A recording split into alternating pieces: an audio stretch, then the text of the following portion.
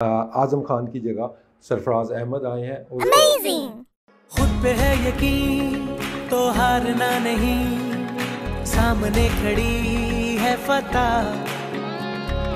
जज्बा जुनून अब जगा ले तू।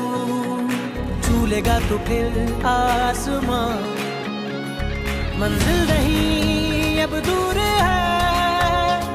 करता ये दिल है